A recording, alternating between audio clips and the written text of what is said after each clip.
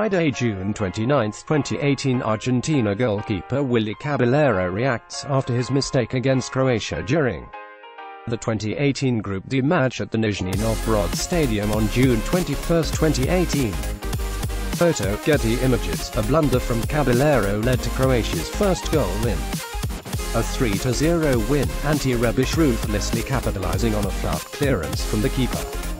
Argentina were staring at a potential early exit following the defeat, but edged out Nigeria 2-1 on Tuesday to book the place in the knockout rounds. Federico Fazio has leapt to the defense of Argentina teammate Willy Caballero after the goalkeeper revealed he had received online threats following the World Cup loss to Croatia. A blunder from Caballero led to Croatia's first goal in a 3-0 win. Ante Rebic ruthlessly capitalizing on a fluff clearance from the keeper. Argentina were staring at a potential early exit following the defeat, but edged out Nigeria 2-1 on Tuesday to book the place in the knockout rounds.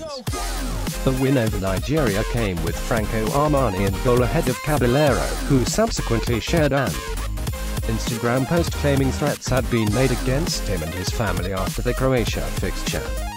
In a news conference on Thursday, Fazio and Giovani Lo Celso showed the support for Caballero. Football is full of mistakes, especially in a position as hard as goalkeeper, said Fazio. Without errors, every game would finish nil-nil.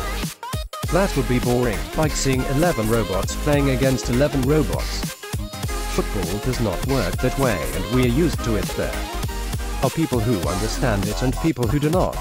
We gave Willy all our support because we are very close to each other in this team, we all go to the same side.